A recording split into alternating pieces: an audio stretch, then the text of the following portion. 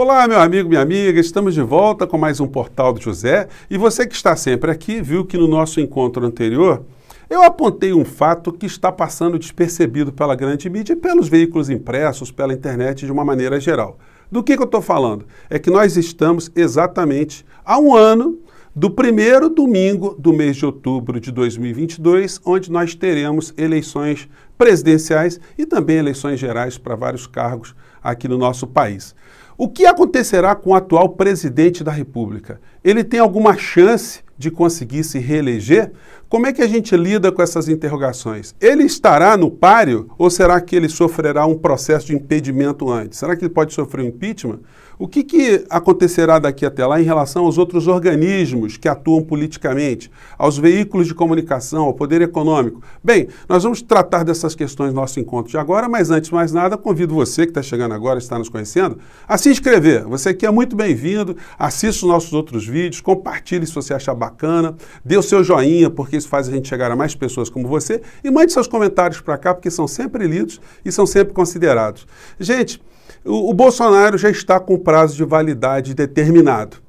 É, se acontecerá alguma coisa antes desse prazo de validade, nós vamos aqui abordar algumas questões.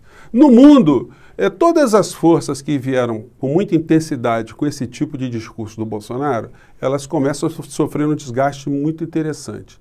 Por exemplo, uma figura que é considerada uma espécie de Bolsonaro das Filipinas, o Rodrigo Duterte, ele fez pesquisas de opinião lá nas Filipinas e o povo não está querendo que ele fique mais à frente das Filipinas, não. Uma espécie de, de Bolsonaro da, da, daquele lado do mundo, com os mesmos tipos de discurso e com os mesmos tipos de incriminações junto à Corte Penal Internacional de Haia. Então, enfim, a figura está colocando a sua viola no saco.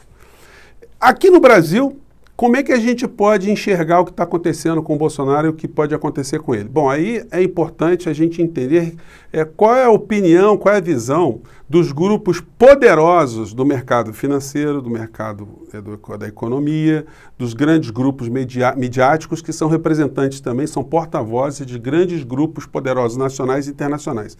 Então, a gente faz uma visita aqui no editorial de um dos porta-vozes desses segmentos, né? Jornal O Globo, da família Marinho. E aí no editorial deles eles colocam isso aqui, ó, esse título aqui. A punição depois da CPI da Covid.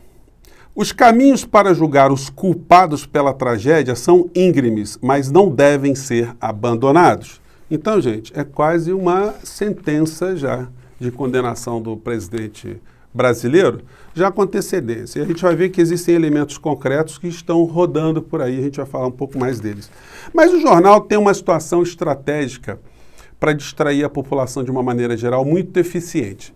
Os jornais impressos, eles atingem uma parcela ínfima da sociedade brasileira é, uma parcela muito pequena só compra jornais e dessa parcela pequena que compra jornais, é, poucos ainda se interessam pelos cadernos políticos, pelos assuntos políticos. E dessas pessoas que se interessam pelos cadernos políticos, ainda tem uma parcela que não tem uma leitura muito crítica. As pessoas leem, enfim, estão ali tentando se informar, mas sem, sem rebater muito o que está acontecendo ali. Mas é possível a gente extrair algumas informações é, subliminares nesse tipo de texto aqui. Eles dizem o seguinte, apontando aqui vários crimes do Bolsonaro, e aí tem uma hipocrisia também, né? Porque o jornal impresso, como ele sabe que está atingindo um público é, mais qualificado, que entende mais de política, que se preocupa com esses assuntos, aí eles confessam, eles mostram exatamente a visão real. Mas isso não acontece, por exemplo, nos telejornais. E não confunda os telejornais das TVs a cabo, porque também é um público muito segmentado. Eu estou falando do público das emissoras abertas, que atingem a maior parte da população brasileira. E para essa população aberta, é, nós temos um outro tipo de comunicação que não essa aqui, essa informação qualificada, onde eles mostram os crimes do presidente da República. No texto aqui eles dizem o seguinte: o presidente Jair Bolsonaro desprezou as normas sanitárias e pôs em risco a saúde da população.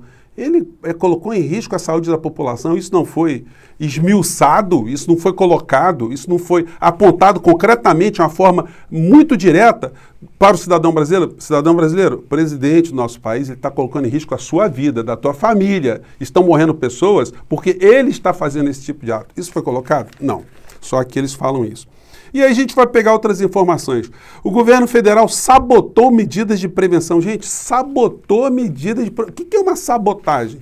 Isso é um assunto de, de boteco? Sabotar a saúde do povo brasileiro, não é uma coisa para levar uma pessoa para o banco dos réus. Uma figura como essa merece, pode ficar governando o nosso país?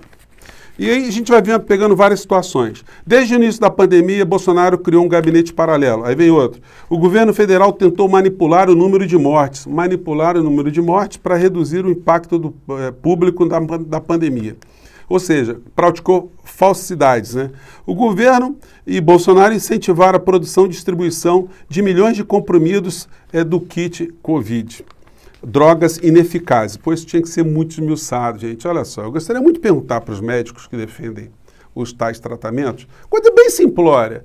Doutor, o senhor está vendo estatística do que está acontecendo no mundo? Existe algum país que está utilizando esses medicamentos? O senhor já percebeu, doutor, o senhor que orienta Bolsonaro, ou que é inspirado por Bolsonaro, que não tem nenhum país do mundo, se você pegar os países europeus, por exemplo, que não estão usando o tal medicamento, tem menos mortes do que aqui, acontece aqui no nosso país, tanto em números absolutos como em, números proporcionais, a taxa de mortalidade nesses países que não usam esses remédios imprestáveis é menor do que aqui no Brasil. Então, por que, que morrem mais pessoas no nosso país com esses tais é, inclusive com esses tais medicamentos. Então, gente, são coisas muito simplórias, muito diretas, fáceis de serem colocadas, abordadas jornalisticamente, mas não foram, né? Bom, o governo desdenhou ofertas de vacinas.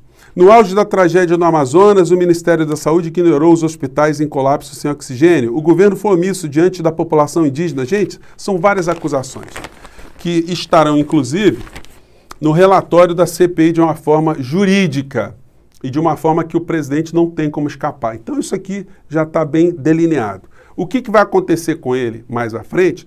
Nós vamos ter que ter um filtro para poder compreender. Porque os grandes veículos de comunicação, como porta-vozes dos mercados, os grandes conglomerados internacionais, dos abutres econômicos que vêm para o Brasil para sugar o máximo que eles podem, a turma do Paulo Guedes, para não dizer a turma dos filhotes de Pinochet, aqui no nosso país, eles não vão querer que a população tenha a sensação integral que a economia está em colapso, que nós estamos passando fome, que nós estamos com mais dificuldades, que nós estamos com muito desemprego, para que a população não reaja politicamente de uma forma totalmente oposta aos interesses que essa gente defende. Então, quanto mais eles puderem disfarçar, e como tal, tábua de salvação, se eles puderem emplacar o Bolsonaro de novo, eles vão reacender uma série de situações. Vão colocar Bolsa Família com valor lá em cima, vão ter, vamos ter jornais na televisão o tempo todo dizendo que os salões cabeleireiros estão bombando, que o supermercado está vendendo como nunca, que os shoppings estão cheios, que os bares estão cheios de pessoas felizes, enfim.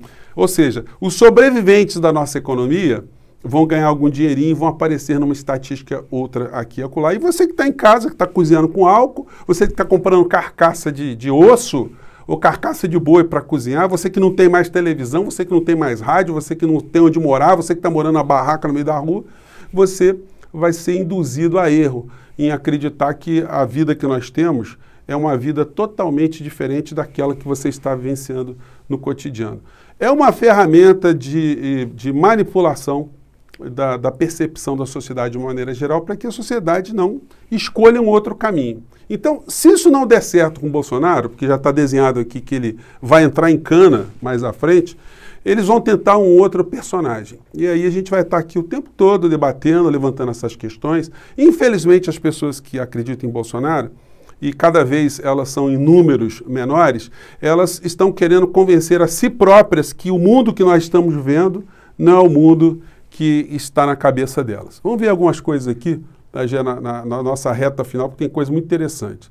O, o Bolsonaro, gente, se você entrar no canal dele aqui, no YouTube, está acontecendo um fenômeno que mostra como ele está perdendo prestígio. É, se a gente analisar desde quando ele fez aquela live, é, onde ele ia denunciar fraudes no sistema eleitoral, aquela live dele teve um milhão de pessoas que assistiram no canal dele.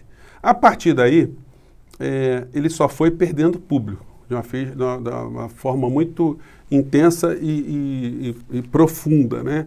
E vamos abrir um parênteses para lembrar o seguinte: depois daquela live malfadada, é, de lá para cá, nós não ouvimos mais falar em fraude eleitoral, nós não ouvimos falar mais o nome do Barroso, do Alexandre de Moraes, quem estava preso continua preso, não teve acordo nenhum. Quem estava hospitalizado continua hospitalizado. Quem estava com tornozeleira eletrônica continua com tornozeleira eletrônica.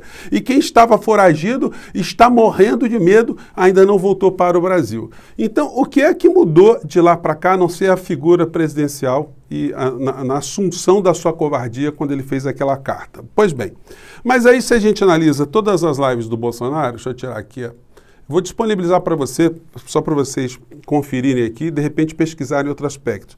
Então teve um milhão de pessoas assistindo aquela live. Depois, dia 5, 259 mil, caiu bastante. Depois 225 mil, 263 mil, 226 mil.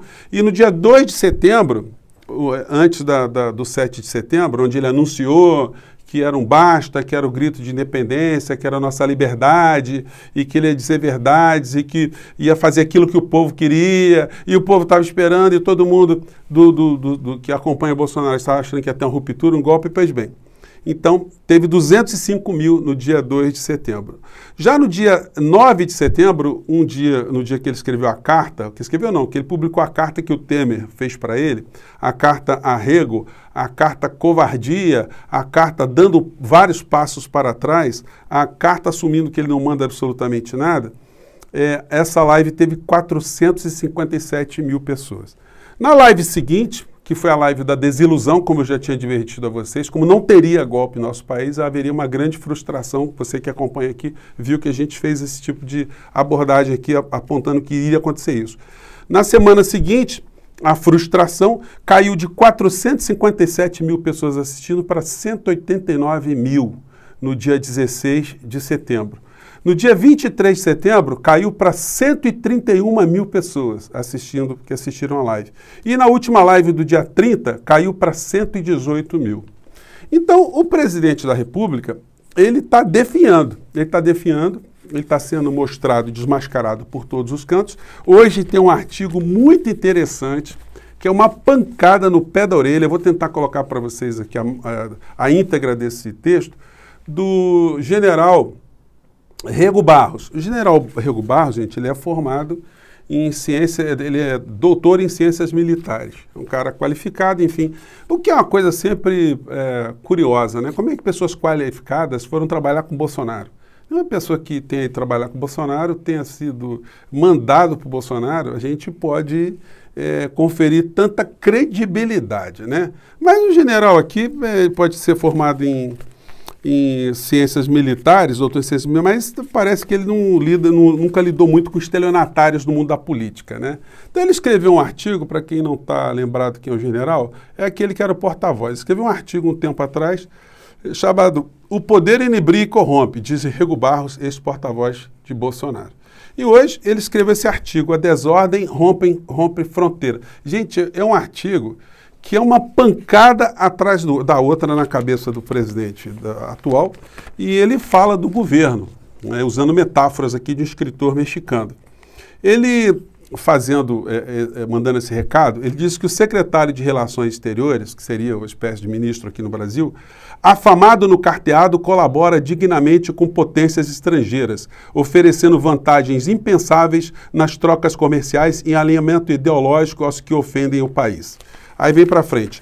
O secretário de Educação defende, é, se defende de críticas com monólogo inacessível, recheado de citações não comprovadas, que de tão aborrecido o faz merecedor de adormecimento enquanto fala. O secretário de Saúde, adulador inveterado, é um mandarim catado na velha política provinciana, que se aproveita da função para desfrutar com pretexto de curar. O chefe de gabinete sofre de mendicância moral baboso com os poderosos, soberbo com os fracos, lustra a sola dos sapatos do presidente antes que esse adentre no recinto dos despachos. Quem não sabe gozar aventura, quando a tem, não se deve queixar quando ela lhe escapa. A história se passa no país dos astecas, mas poderia ser bem aqui no país dos tupiniquins. Aí ele finaliza. Não nos merece sermos tomados como ridículos a nome da simplicidade ou ignorância. Não há serventia assumirmos-nos os diferentes entre países. Aliás, só a garantia é de escárnio. Então, gente, foi um artigo, vou colocar na íntegra para vocês. E para finalizar, eu queria falar de outros assuntos também, da migração ilegal nos Estados Unidos. Como tem brasileiro sendo preso nos Estados Unidos, tem uma matéria aqui no Estadão hoje. É, só num, num ano, mais de 50 mil brasileiros foram presos é, esse o Bolsonaro fica dizendo que os venezuelanos estão querendo entrar aqui, mas os brasileiros que estão fugindo daqui também não está no gibi, né? E para finalizar aqui com uma história aqui bem lúdica e, e bacana, aliás, outro site também que está perdendo muita audiência é o pessoal do Terça Livre, né? Tem muitos sites aí, muitos canais bolsonaristas que sumiram e esse aqui, no último vídeo deles aqui, eles estão tendo audiência muito baixa, é, para os padrões que eles tinham anteriormente, né? Eles estão com 50 e poucos mil views num vídeo, um canal que tem mais de 1 milhão e 250 mil inscritos. Né? Então, essa onda aqui no nosso país, ela está descendo a ladeira de uma maneira muito rápida. E para finalizar, gente, tem um, um, assunto muito bacana, deixa eu ver se eu acho aqui, se é essa aqui, opa, que eu acho que é aqui. Olha só que coisa interessante. Esse menino aqui, ele, cheio, ele se chama Mason People. O Mason People, para quem não viu, ele foi um menininho que foi tirar a foto dele de, de final de ano na, na, escola, né? E o fotógrafo pediu para ele tirar a máscara. E ele falou o seguinte: olha, não vou tirar a máscara não, porque se eu tirar ajuda a contaminar as pessoas. Não, para tirar a foto, só, só para tirar a foto aqui. Falou: não, minha mãe falou para não tirar, de jeito nenhum eu não vou tirar, porque isso contamina as pessoas e é só para eu tirar quando eu for me alimentar. E aí um cara, o fotógrafo falou, tá, tá bom, colocou isso nas redes sociais, moral da história. A história comoveu os Estados Unidos e ele já tá, a, a, teve uma, uma, uma, campanha para fazer uma vaquinha para pagar os estudos desse menino para o resto da vida. E um dia se arrecadou 180 mil reais, equivalente a 180 mil reais para o menino aqui. É uma coisa, um menino muito bonitinho, muito engraçadinho, e que mostra que uma criança de seis anos nos Estados Unidos tem muito mais juízo do que o presidente brasileiro. Então, nós temos que é, conviver com esse tipo de realidade, né, gente? Muito obrigado por vocês estarem aqui no nosso papo de hoje. Mais uma vez, tenham um, um, uma boa semana e vamos seguir em frente porque já estamos em contagem regressiva e nós temos muita coisa para fazer, muito papo para levar, né? Um grande abraço, até lá, gente.